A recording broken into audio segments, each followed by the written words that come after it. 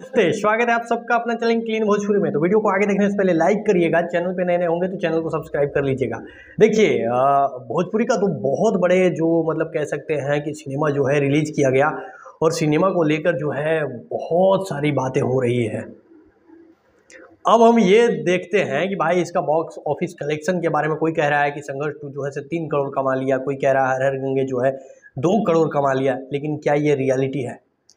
क्योंकि तीस, चालीस, पचास सिनेमा में अगर सिनेमा एक दिन में एक करोड़, दो दिन में दो करोड़ कमाना शुरू कर दे तो फिर भोजपुरी का इतिहास ही चेंज हो जाता।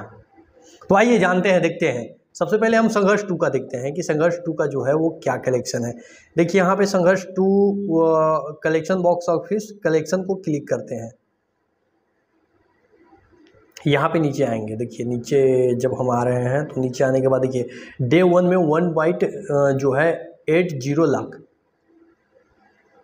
और डे टू में जो है, ये संघर्ष टू का मैं आप लोग को बॉक्स ऑफ़िस कलेक्शन दिखा रहा हूँ, वो है एक लाख साठ हज़ार। मतलब कि दो दिनों में जो है, ये इसकी कुल जो है, वो कलेक्शन है।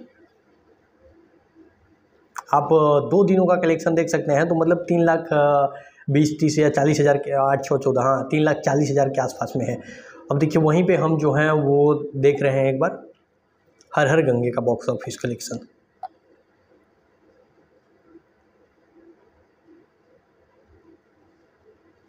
Har Har Gange box office collection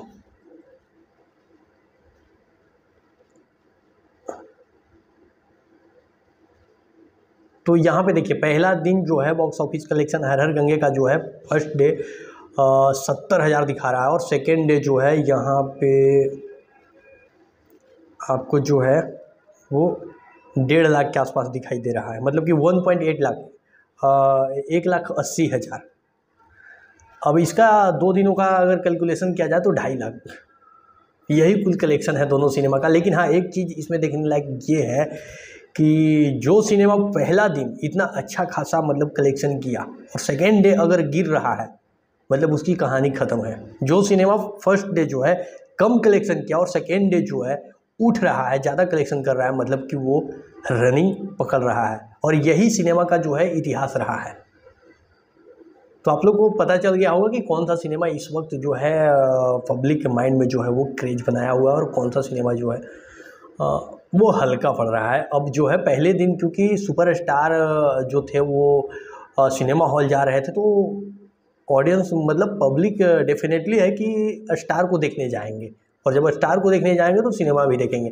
वहीं भी हर हर गंगे का कोई मतलब स्टार जो हैं, जो उनके मेकर्स हैं, वो कहीं भी सिनेमा हॉल में नहीं गए। और फ़र्स्ट डे अच्छे से उसको रिलीज़ भी नहीं किया गया। तो उस हिसाब से अगर सेकेंड डे वो मतलब बाउंस कर रहा है तो फिर आने वाले टाइम में वो ज़रूर डेफिनेटली है, वो बाउंस करेगा। बाकी आप लोगों को क्या लगता है, आप ज़रूर कमेंट बॉक्स में कमेंट करिएगा। ये मेरा